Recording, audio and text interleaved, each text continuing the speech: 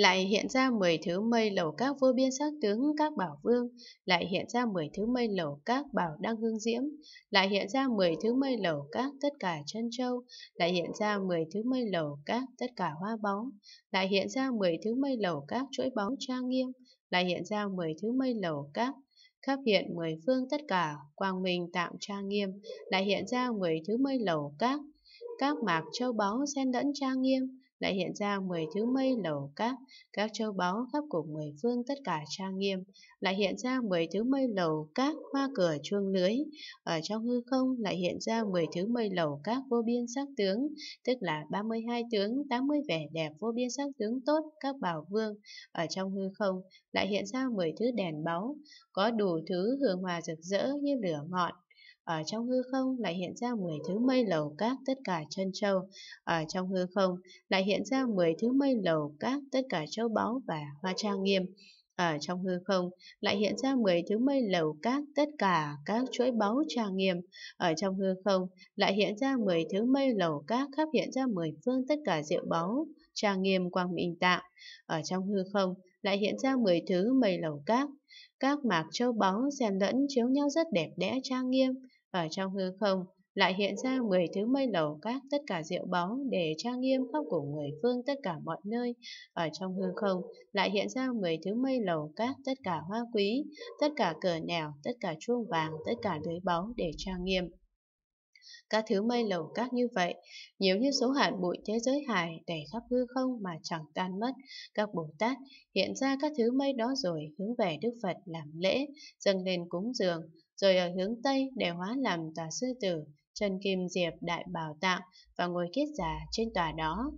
Giống như ở trước đã nói, các thứ mây lầu cát nhiều như hạt bụi của thế giới hải đều đầy khắp trong hư không mà chẳng tan mất. Sau khi các Bồ Tát nhiều như số hạt bụi hiện ra mây lầu cát nhiều như hạt bụi rồi, lại nhiễu bên phải ba vòng hướng về Đức Phật đảnh lễ, dâng lên cúng dường Đức Phật. Ở hướng Tây, những vị Bồ Tát đó đều hóa hiện tòa sư tử Đại Tạng, bóng Trần Kim Diệp và ngồi kết giá trên tòa đó. Hiện tướng tàm muội một lòng lắng nghe Phật nói Pháp. Phía bắc của thế giới hải hoa tạng trang nghiêm lại có thế giới hải tên là tỷ lưu ly liên hoa quang viên mãn tạng. Trong thế giới đó có cõi nước tên là yêu bát la hoa Tràng nghiêm, Đức Phật hiệu là phổ trí tràng âm vương. Ở trong biển đại chúng của Đức Như Lai đó, có Đại Bồ Tát tên là Sư Tử Phấn Tấn Quang Minh, với các Bồ Tát nhiều như hạt bụi thế giới hải, đều cùng nhau đi đến chỗ Đức Phật. Ai nấy đều hiện ra mười thứ mây, cây tất cả hương thơm mani vi diệu để khắp hư không mà chẳng tan mất. Phía bắc của thế giới hải hoa tạng trang nghiêm lại có thế giới hải tên là tỷ lưu ly liên hoa quang viên mãn tạng. Ở trong thế giới đó có cõi nước tên là Yêu Bát La Hoa Trang Nghiêm. Ở trong cõi nước đó có một vị Phật hiệu là Phổ Trí Tràng Âm Vương. Trong đại chúng hải hội của Đức Phật đó, có Đại Bồ Tát tên là Sư Tử Phấn Tấn Quang Minh. Ngài và các Bồ Tát, nhiều như số hạt bụi thế giới hải, đều cùng nhau đi đến Bồ Đề Đạo Tràng. Mỗi vị Bồ Tát đều hiện ra mười thứ mười cây tất cả hương thơm mani vi diệu để khắp hư không mà chẳng tan mất lại hiện ra 10 thứ mây cây lá xung xuê tỏa hương thơm trang nghiêm, lại hiện ra 10 thứ mây cây hóa hiện ra tất cả cây vô biên sắc tướng trang nghiêm, lại hiện ra 10 thứ mây cây tất cả hoa bảy khắp trang nghiêm, lại hiện ra 10 thứ mây cây tất cả bảo diễm viên mãn quang trang nghiêm, lại hiện ra 10 thứ mây cây tất cả hương trên đàn thân Bồ Tát trang nghiêm lại hiện ra 10 thứ mây cây, hiện ra nơi đạo tràng thuở xưa trang nghiêm không thể nghĩ bàn, lại hiện ra 10 thứ mây cây các y phục báu tạm như ánh sáng mặt trời, lại hiện ra 10 thứ mây cây khắp phát ra tất cả âm thanh rất êm tai, lại hiện ra 10 thứ mây cây lá sum xuê, tỏa ra hương thơm vi diệu không thể nghĩ bàn, lại rất trang nghiêm, lại hiện ra 10 thứ mây cây biến hóa ra vô biên đủ thứ sắc tướng, vừa đẹp vừa trang nghiêm, lại hiện ra 10 thứ mây cây tất cả hoa bảy khắp trang nghiêm, lại hiện ra 10 thứ mây cây tất cả bảo diễm ánh sáng viên mãn trang nghiêm, lại hiện ra 10 thứ mây cây tất cả hương thơm trên đàn. Trong hương thơm lại hiện ra thân Bồ Tát trang nghiêm, lại hiện ra 10 thứ mây cây hiện ra đạo tràng thuở xưa Phật tu hành, đạo tràng cúng dường tất cả chư Phật ba đời, đạo tràng thuyết pháp đủ thứ sự trang nghiêm không thể nghĩ bàn, lại hiện ra 10 thứ 10 cây y phục tạng các báu chế thành như ánh sáng mặt trời, lại hiện ra 10 thứ 10 cây khắp phát sinh tất cả âm thanh, khiến cho người nghe đều êm tai. Các mây cây như vậy, nhiều như số hạt bụi thế giới hải, đều đầy khắp hư không mà chẳng tan mất. Các vị Bồ Tát hiện ra các thứ mây đó rồi, hướng về Đức Phật làm lễ, dâng lên cúng dường. Rồi ở phương Bắc ai nấy đều hóa làm tòa sư tử Mani đăng lên hoa tạng, rồi ngồi kiết già ở trên tòa đó. Giống như ở trước đã nói, có mây cây nhiều như số hạt bụi thế giới hải, đầy khắp hư không chẳng bao giờ tan mất. Các vị Bồ Tát đó hiện ra các mây cây nhiều như hạt bụi rồi, bèn đi nhiễu Phật bên phải ba vòng, hướng về Đức Phật làm lễ dâng lên cúng dường. Rồi ở phương Bắc, các vị Bồ Tát đều hiện ra tòa sư tử Mani Bảo đăng lên hoa tạo mỗi vị đều ngồi kiết giả ở trên tòa ấy, hiện tướng tam muội một lòng lắng nghe Phật nói Pháp. Phường Đông Bắc của thế giới hải hoa tạng trang nghiêm, lại có thế giới hải tên là Diêm Phủ Đàn, Kim Pha Lê Sắc Tràng. Trong thế giới đó, có cõi nước tên là chúng bảo trang nghiêm, Đức Phật hiệu là nhất thiết Pháp vô ý đăng, ở trong biển đại chúng của Đức Như Lai đó, có Đại Bồ Tát tên là Tối Thắng Quang Minh Đằng Vô Tận Công Đức Tạng, với các Bồ Tát nhiều như số hạt bụi thế giới hải, đều cùng nhau đi đến chỗ Đức Phật. Ai nấy đều hiện ra mười thứ mây tỏa sư tử hoa sen tạng báu vô biên sắc tướng, đầy khắp hư không mà chẳng tan mất. Phường Đông Bắc của thế giới hải hoa tạng trang nghiêm lại có thế giới hải tên là Diêm Phổ Đàn Kim Pha Lê Sắc Tràng. Ở trong thế giới đó có một cõi nước tên là Chúng Bảo Trang Nghiêm. Ở trong cõi nước đó có vị Phật hiệu là Nhất Thiết Pháp Vô Ý Đăng. Trong đại chúng hải hội của vị Phật đó có vị Đại Bồ Tát tên là Tối Thắng Quang Minh Đăng Vô Tận Công Đức Tạng. Ngài với các Bồ Tát nhiều như số hạt bụi thế giới hải đều cùng nhau đi đến chỗ Đức Phật ai nấy đều hiện ra mây tỏa sư tử hoa sen tạng báu vô biên sắc tướng, đầy khắp hư không mà chẳng tan mất lại hiện ra 10 thứ mây tỏa sư tử quang minh tạng mani vương, lại hiện ra 10 thứ mây tỏa sư tử hết thảy đủ trang nghiêm đủ thứ vật trang sức, lại hiện ra 10 thứ mây tỏa sư tử các màn báu đèn sáng rực rỡ, lại hiện ra 10 thứ mây tỏa sư tử khắp mưa chuỗi báu, lại hiện ra 10 thứ mây tỏa sư tử hết thảy hương hòa chuỗi tạng báu, lại hiện ra 10 thứ mây tỏa sư tử thị hiện tất cả Phật tỏa trang nghiêm mani vương tạng lại hiện ra 10 thứ mây tòa sư tử, cửa nẻo thèm bậc và tất cả chuỗi trang nghiêm, lại hiện ra 10 thứ mây tòa sư tử, tất cả cành thân cây mani báu tạ, lại hiện ra 10 thứ mây tòa sư tử hương báu rán sức nhật quang minh tạng. Lại hiện ra 10 thứ mây tòa sư tử mani vương quang minh tạng, lại hiện ra 10 thứ mây tỏa sư tử, tất cả đồ trang nghiêm và đủ thứ vật trang sức rất đẹp đẽ trang nghiêm, lại hiện ra 10 thứ mây tỏa sư tử, tất cả diệu bảo, là màn và đèn diễm tạng, lại hiện ra 10 thứ mây tỏa sư tử, khắp mưa tất cả chuỗi châu báu để trang nghiêm, lại hiện ra 10 thứ mây tỏa sư tử, có hương thơm, có hoa, có châu báu, có chuỗi ngọc, lại hiện ra 10 thứ mây tỏa sư tử, tòa của chư Phật trang nghiêm Mani Vương Tạng, lại hiện ra 10 thứ mây tòa sư tử cửa nẻo, đài thêm bực thành và tất cả chuỗi trang nghiêm, lại hiện ra 10 thứ mây tòa sư tử cây nhánh tạo báu mani. Lại hiện ra 10 thứ mây tỏa sư tử các châu báu và các hương thơm hỗ tương dán sức giống như tạo ánh sáng mặt trời. Các mây tỏa sư tử như vậy, nhiều như số hạt bụi thế giới hài đầy khắp trong hư không mà chẳng tan mất. Các Bồ Tát hiện ra các thứ mây đó rồi, bèn hướng về Đức Phật làm lễ, dâng lên cúng dường. Rồi ở phương Đông Bắc, ai nấy đều hóa làm tòa sư tử tặng hoa sen báu mani quang tràng, rồi ngồi kiết già trên tòa đó. Giống như ở trên đã nói, có mây tòa sư tử, nhiều như số hạt bụi thế giới hải, đầy khắp hư không chẳng tan mất. Sau khi các Bồ Tát đó hiện ra đủ thứ mây tỏa sư tử rồi, bèn đi nhiễu Phật bên phải ba vòng, hướng về Đức Phật đảnh lễ, dâng lên cúng dường. Rồi ở phường Đông Bắc, anh ấy đều hóa hiện ra tòa sư tử tạng hoa sen báu mani quang tràng, rồi ngồi kết giả trên tòa đó. Hiện tướng tàm muội một lòng lắng nghe Phật nói Pháp. Phía đông nam của thế giới hải hoa tạng trang nghiêm lại có thế giới hải tên là Kim Trang Nghiêm Lưu Ly Quang Phổ Chiếu.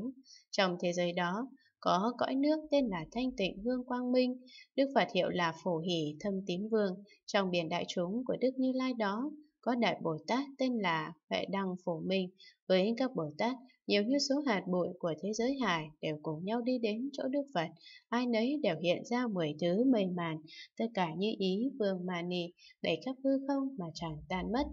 Phường đồng nam của thế giới hải hoa tạng trang nghiêm, lại có thế giới hải tên là Kim Trang Nghiêm Lưu Ly Quang Phổ Chiếu. Ở trong thế giới đó có cõi nước tên là Thanh Tịnh Hương Quang Minh.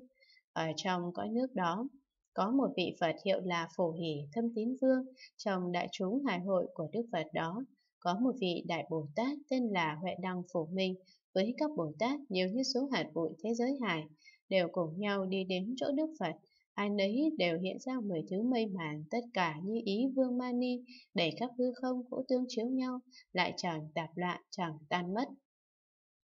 lại hiện ra 10 thứ mây màn đế thanh báu, tất cả hoa trang nghiêm, lại hiện ra 10 thứ mây màn tất cả hương mani, lại hiện ra 10 thứ mây màn bảo diễm đăng, lại hiện ra 10 thứ mây màn thị hiện Phật thần thông thuyết pháp mani vương, lại hiện ra 10 thứ mây màn, hiện ra tất cả y phục trang nghiêm màu sắc như mani, lại hiện ra 10 thứ mây màn tất cả hoa tùng bóng quang minh, lại hiện ra 10 thứ mây màn lưới linh chuông báu phát ra âm thanh, lại hiện ra 10 thứ mây màn mani, làm đài hoa sen làm lưới, lại hiện ra 10 thứ mây màn, hiện ra tất cả đồ màu sắc trang nghiêm không thể nghĩ bàn, lại hiện ra 10 thứ mây màn đế thanh báu, đủ thứ sự trang nghiêm, lại hiện ra 10 thứ mây màn tất cả hương mani, lại hiện ra 10 thứ mây màn các báu diễm đăng, lại hiện ra 10 thứ mây màn, thì hiện 10 phương ba đời tất cả chư Phật thần thông thuyết pháp Mani Vương.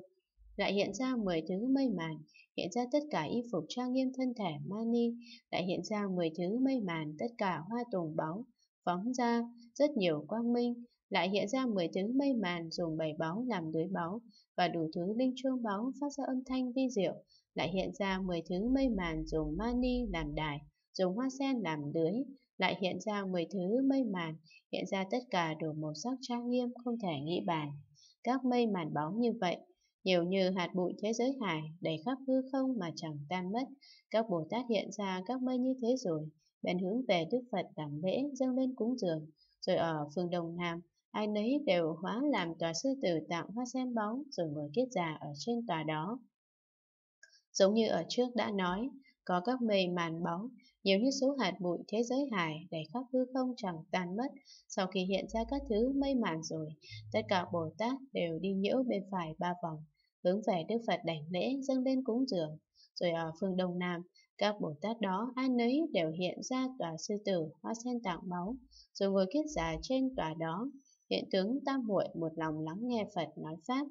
Phía tây nam của thế giới hải hoa tạng trang nghiêm lại có thế giới hải tên là Nhật Quang Biến Chiếu. Trong thế giới đó có cõi nước tên là Sư Tử Nhật Quang Minh. Đức Phật hiệu là Phù Trí Quang Minh Âm. Trong biển đại chúng của Đức Như Lai đó có Đại Bồ Tát tên là Phổ Hoa Quang Diễm Kế. Với các Bồ Tát nhiều như số hạt bụi thế giới hải, đều cùng nhau đi đến chỗ Đức Phật, ai nấy đều hiện ra mười thứ mây lọng báu trang nghiêm vi diệu, đầy khắp trong hư không mà chẳng tan mất. phường Tây Nam của thế giới hải hoa tạng trang nghiêm lại có thế giới hải tên là Nhật Quang Biến Chiếu. Trong thế giới đó có cõi nước tên là Sư Tử Nhật Quang Minh. Ở trong cõi nước đó có một vị Phật hiệu là Phổ Trí Quang Minh Âm. Trong đại chúng hải hội của Đức Phật đó có Đại Bồ Tát tên là Phổ Hoa Quang Diễm Kế. Với các Bồ Tát, nhiều như số hạt bụi thế giới hải, đều cùng nhau đi đến chỗ Đức Phật. Ai nấy đều hiện ra mây lọng báu, dùng các báu vi diệu trang nghiêm đẩy khắp trong hư không mà chẳng tan mất.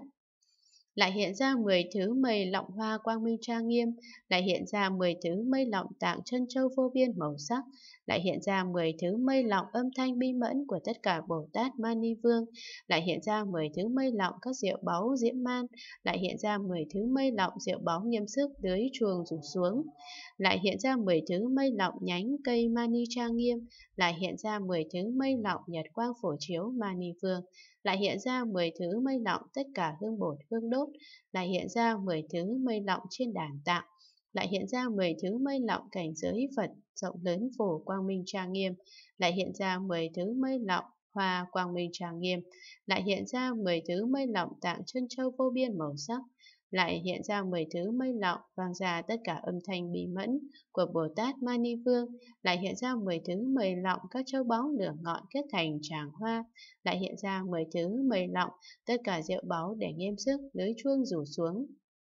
lại hiện ra 10 thứ mây lọng, nhánh cây mani báu trang nghiêm, lại hiện ra 10 thứ mây lọng nhật quang phổ chiếu mani vương, lại hiện ra 10 thứ mây lọng tất cả hương bột, hương đốt, các thứ hương, lại hiện ra 10 thứ mây lọng tạng hương trên đàn, lại hiện ra 10 thứ mây lọng cảnh giới Phật rộng lớn của Phật khắp trang nghiêm.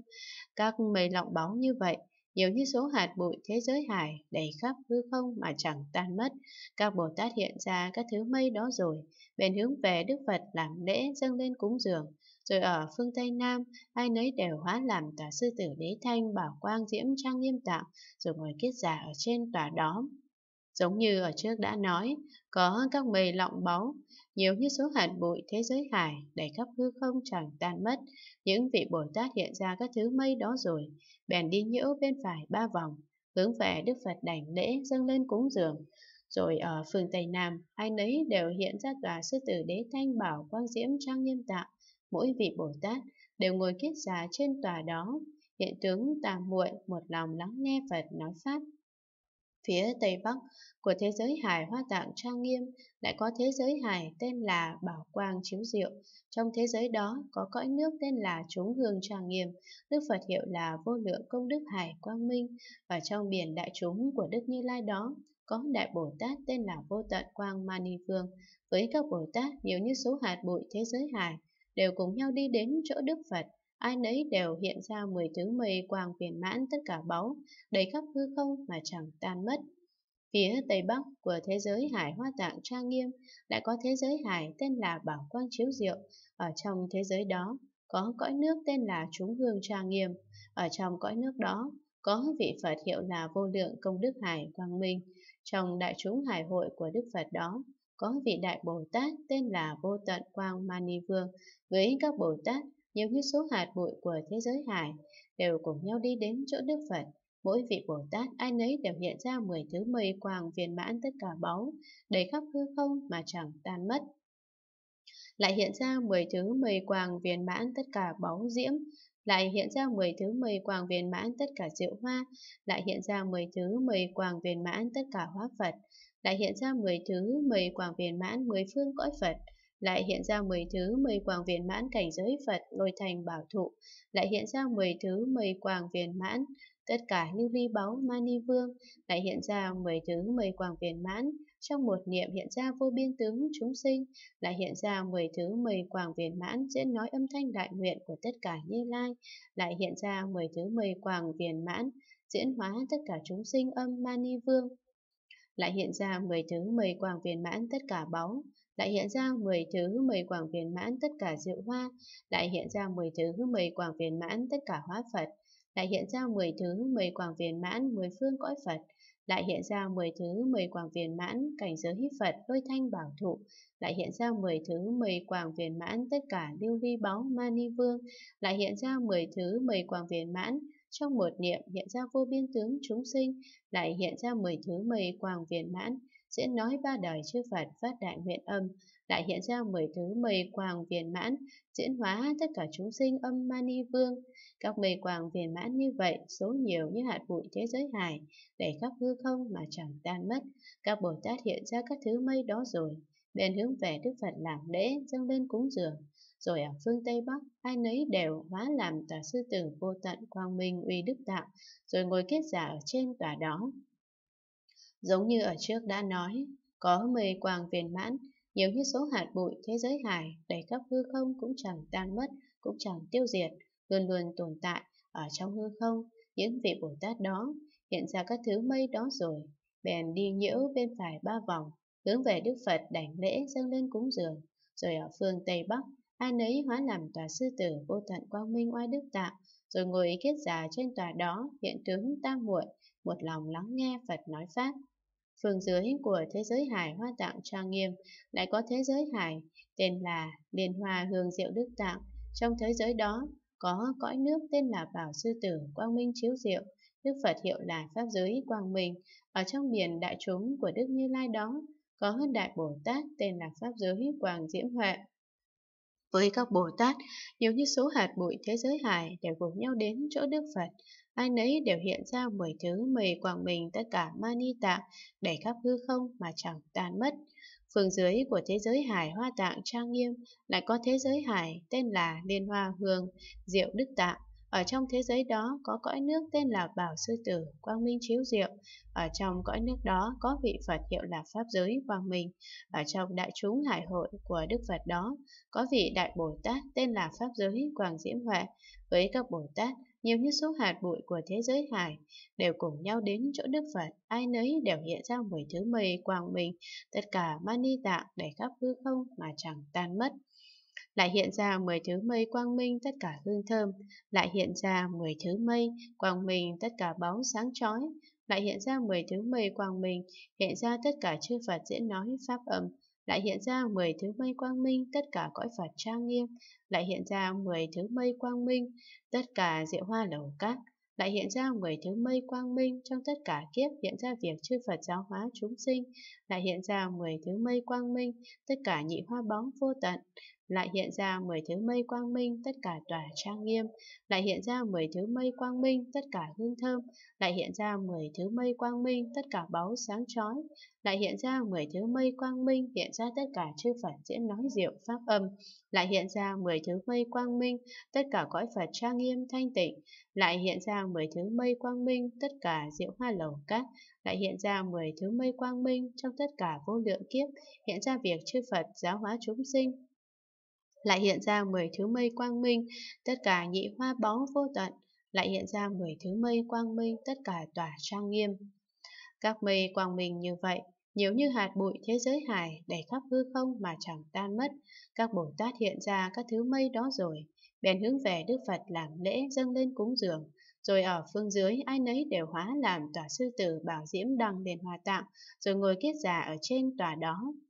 Giống như ở trước đã nói, có mây quang minh, nhiều như số hạt bụi thế giới hải đầy khắp trong hư không chẳng tan mất. Những vị Bồ Tát hiện ra các thứ mây quang minh đó rồi, bèn đi nhiễu bên phải ba vòng hướng về Đức Phật đảnh lễ, dâng lên cúng dường. Rồi ở phương dưới ai nấy đều hiện ra tòa sư tử bảo diễm đăng đền hòa tạng, rồi ngồi kiết giả trên tòa đó hiện tướng tam muội một lòng lắng nghe Phật nói pháp. Phương trên của thế giới hải hoa tạng trang nghiêm lại có thế giới hải tên là Mani Bảo Chiếu Diệu trang nghiêm. Trong thế giới đó có cõi nước tên là Vô Tướng Diệu Quang Minh, Đức Phật hiệu là Vô Ngại Công Đức Quang Minh Vương. Trong biển đại chúng của Đức Như Lai đó có Đại Bồ Tát tên là Vô Ngại Lực Tinh Tấn Huệ. Với các Bồ Tát, nhiều như số hạt bụi thế giới hải đều cùng nhau đến chỗ Đức Phật ai nấy đều hiện ra mười thứ mây quang diễm vô biên sắc tướng báu, để khắp hư không mà chẳng tan mất. Phương trên của thế giới hải hoa tạng trang nghiêm lại có thế giới hải tên là Mani Bảo Chiếu Diệu Mani. Trong thế giới đó có cõi nước tên là Vô Tướng Diệu Quang Minh. Trong cõi nước đó có vị Phật hiệu là Vô Ngại Công Đức Quang Minh Vương. Trong đại chúng hải hội của vị Phật đó có Đại Bồ Tát tên là Vô Ngại Lực Tinh Tấn Huệ. Với các Bồ Tát nhiều như số hạt bụi của thế giới hải đều cùng nhau đến chỗ Đức Phật. Ai nấy đều hiện ra mười thứ mây vô biên sắc tướng báu, để khắp hư không mà chẳng tan mất. Lại hiện ra mười thứ mây quang diễm lưới báu mani, lại hiện ra mười thứ mây quang diễm tất cả cõi Phật trang nghiêm rộng lớn, lại hiện ra 10 thứ mây quang diễm tất cả hương thơm vi diệu, lại hiện ra 10 thứ mây quang diễm tất cả trang nghiêm, lại hiện ra 10 thứ mây quang diễm chư Phật biến hóa, lại hiện ra 10 thứ mây quang diễm các cây hòa vi diệu, lại hiện ra 10 thứ mây quang diễm tất cả kim cang, lại hiện ra 10 thứ mây quang diễm nói vô biên hạnh Bồ Tát Mani, lại hiện ra 10 thứ mây quang diễm tất cả đèn chân châu, lại hiện ra 10 thứ mây quang diễm đối báu Mani, lại hiện ra 10 thứ mây quang diễm tất cả cõi Phật trang nghiêm rộng lớn, lại hiện ra 10 thứ mây quang diễm tất cả hương thơm vi diệu, lại hiện ra 10 thứ mây quang diễm tất cả trang nghiêm, lại hiện ra 10 thứ mây quang diễm chư Phật biến hóa, lại hiện ra 10 thứ mây quang diễm các cây hoa vi diệu, lại hiện ra 10 thứ mây quang diễm tất cả kim cang, lại hiện ra 10 thứ mây quang diễm mani nói vô biên hạnh Bồ Tát, lại hiện ra 10 thứ mây quang diễm tất cả đèn chân châu. Các mây quang diễm như vậy, nhiều như hạt bụi thế giới hải, đều đầy khắp hư không mà chẳng tan mất. Các Bồ Tát hiện ra các thứ mây đó rồi, bèn hướng về Đức Phật làm lễ dâng lên cúng dường. Rồi ở phương trên, ai nấy đều hóa làm tòa sư tử, tạng hoa sen quang minh, diễn nói âm thanh của Phật, rồi ngồi kết giả ở trên tòa đó.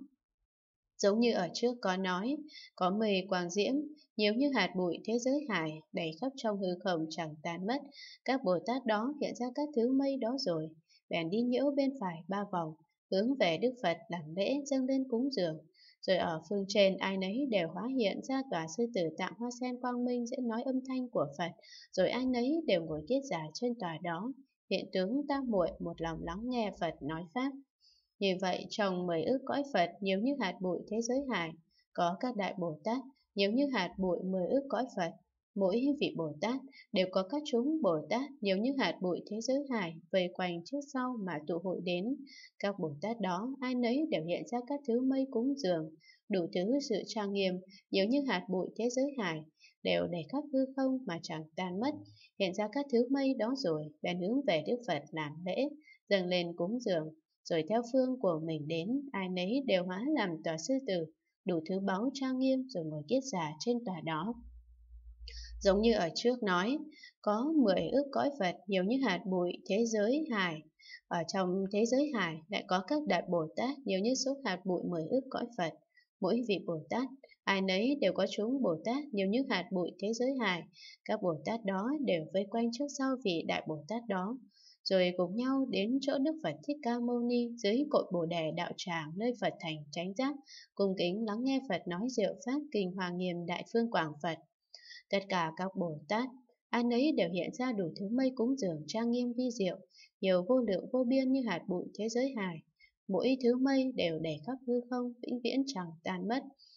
Vậy một thứ mây đầy khắp hư không, thì chẳng thế nào dung nạp các thứ mây khác chăng? Nếu dùng tri kiến của phàm phu mà nói thì không thể nào, chiếu theo cảnh giới hoa nghiêm mà nói thì được. Về cảnh giới hoa nghiêm là viên dung vô ngại, những thứ mây đó đầy khắp hư không, mây kia cũng đầy khắp hư không, vô tương không chướng ngại. Mây cúng dường của tôi chẳng chướng ngại bạn, mây cúng dường của bạn cũng chẳng chướng ngại tôi, mây và mây tuyệt đối chẳng phá hoại nhau. Mỗi một thứ mây đầy khắp, cảnh giới này phàm phu chúng ta chẳng dễ gì hiểu được. Tôi đưa ra một ví dụ để làm sáng tỏ đạo lý này. Ở trong chánh điện của chúng ta có nhiều đèn điện cùng chiếu sáng chánh điện. Ánh sáng đèn này chiếu đầy chánh điện, ánh sáng đèn kia cũng chiếu sáng đầy chánh điện. Ánh sáng với ánh sáng chiếu sáng với nhau, ánh sáng của bạn chiếu ánh sáng của tôi, ánh sáng của tôi chiếu ánh sáng của bạn. Đây là ánh sáng với ánh sáng chiếu nhau, ánh sáng với ánh sáng dùng mãn mới hiện ra ánh sáng cách ngoại. Những mây cúng dường này tuy nhiều như hạt bụi nhưng chẳng ngại nhau, cho nên đầy khắp hư không mà chẳng tan mất. Các vị Bồ Tát đó hiện ra mây cúng dường trang nghiêm rồi, đi nhiễu bên phải Đức Phật ba vòng, hướng về Đức Phật làm lễ dâng lên cúng dường. Các Bồ Tát đến từ mười phương, ai nấy đều tùy theo phương hướng của mình đến, mà hóa hiện ra tòa sư tử, dùng đủ thứ châu báu trang nghiêm, rồi ngồi kiết già trên tòa đó. Hiện tướng tàng muội một lòng lắng nghe Phật nói Pháp. Khi chúng ta ngồi thiền, tư thế tốt nhất là ngồi kiết già, rất dễ nhập định. Ngồi như vậy rồi, trong các lỗ chân đông chân thân của các Bồ Tát đó đều hiện ra quang minh, tất cả bóng đủ thứ màu sắc nhiều như hạt bụi mười thế giới hải. Trong mỗi quang minh đều hiện ra các Bồ Tát nhiều như hạt bụi mười thế giới hải, đều ngồi trên tòa sư tử hoa sen. Sau khi ngồi kiết già rồi, những vị Bồ Tát đều hiện thần thông trong các lỗ chân lông trên thân của các ngài. Mỗi lỗ chân lông đều hiện ra quang minh tất cả bóng đủ thứ màu sắc, nhiều như hạt bụi mười thế giới hải. Trong mỗi thứ quang minh đó đều hiện ra các Bồ Tát nhiều như hạt bụi mười thế giới hải, đều ngồi trên tòa sư tử hoa sen. Các Bồ Tát đó đều vào khắp trong hết thảy các hạt bụi của tất cả pháp giới các biển an lập. Trong mỗi một hạt bụi đó đều có các cõi nước rộng lớn, nhiều như số hạt bụi mười Phật thế giới. Trong mỗi cõi nước đều có chư Phật Thế Tôn ba đời các Bồ Tát đó đều đến khắp để gần gũi cúng dường. Ở trước những Bồ Tát đó hiện thần thông biến hóa đều là không thể nghĩ bàn, trí tuệ càng không thể nghĩ bàn. Cho nên mới có thể vào khắp trong hết thảy hạt bụi của tất cả pháp giới các biển an lập. Ở trong mỗi hạt bụi có 10 vô lượng vô biên Phật thế giới. Ở trong Phật thế giới có cõi Phật rộng lớn, nhiều như hạt bụi. Ở trong mỗi cõi Phật đều có chư Phật ba đời ở trong đó truyền đại Pháp Luân, giáo hóa chúng sinh. Tùy cõi Phật rộng lớn, nhiều như hạt bụi, nhưng các Bồ Tát đó đều phân thân đến khắp chỗ các Đức Phật để gần gũi các Đức Phật, cúng dường các Đức Phật.